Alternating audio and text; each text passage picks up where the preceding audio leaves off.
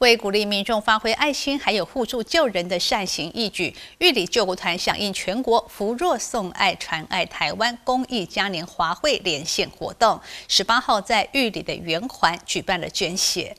为了鼓励民众发挥爱心以及互助救人的善行义举，玉里救国团响应全国扶弱送爱传爱台湾公益嘉年华连线的活动，二月十八号在玉里的圆环办理了捐血活动。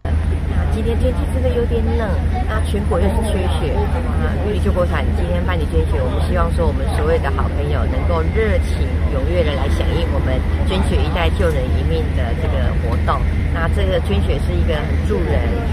助己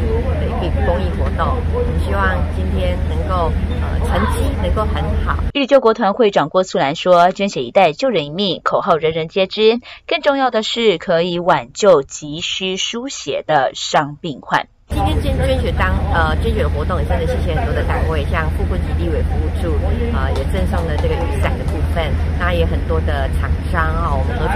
的这些公益团体都能够赞助呃，譬如说我们使用的卫生纸啊、保温袋，还有这个面券、呃臭豆腐的券。那我们在这边希望大家好朋友来继续，不管是今天任何时候都能够常常来响应我们捐血中心响应的捐血助人。玉里救国团表示，血液至今仍然无法以人工血品或是人工制品取代，捐出的热血将是他人延续生命的重要支柱。呼吁民众二月十八号发挥爱心，踊跃前往捐血，充裕医疗用血，记住病患，造福人群。记者高双双、玉振采访报道。